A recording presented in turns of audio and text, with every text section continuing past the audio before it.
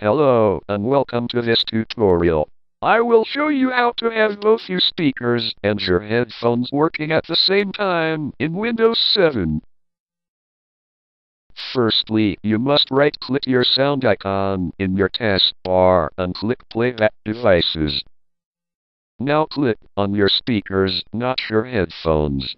If it's not set as the default device, then make it the default device. Go to the Recording tab.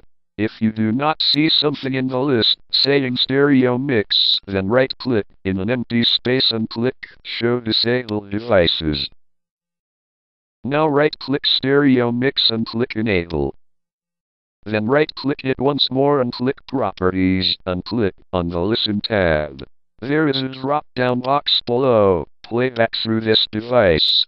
Click on it and select your headphones. Make sure the checkbox Listen to this device is checked. Finally, click Apply and then click OK. Now when you click on the sound icon, there should be two volume levels, your speakers and your headphones, and you can adjust them to suit your needs. Thank you for watching this short tutorial. I hope it helps you. Please visit www.digigalaxy.webs.com for more.